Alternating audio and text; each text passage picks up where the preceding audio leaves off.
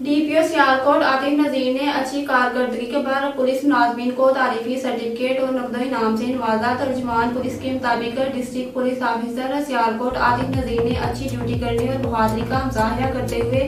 जुरान पेशा अफराद को गिरफ़्तार करने पर थाना कैंट एस एच ओ सब inspector Afzal Mumtaz, sub inspector Awais Arshad constable Saleem Iqbal और ड्राइवर कांस्टेबल मोहसन अली को तारीफी सर्टिफिकेट और नकदो इनाम से नवाजा। इस दौरान डी पी ओ सियालकोट ने कहा कि पेशा वराना आला कारकर्दगी के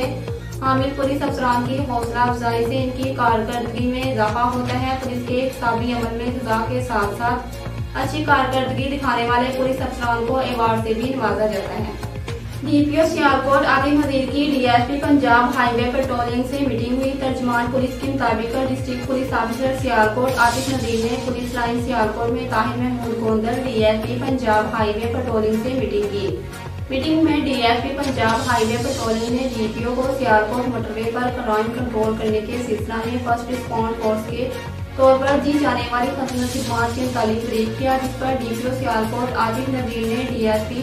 पंजाब हाईवे पेट्रोलिंग को गश्त का निज़ाम मौसर करने और चालक को मजीद मौसर बनाने के लिए इकदाम जारी किए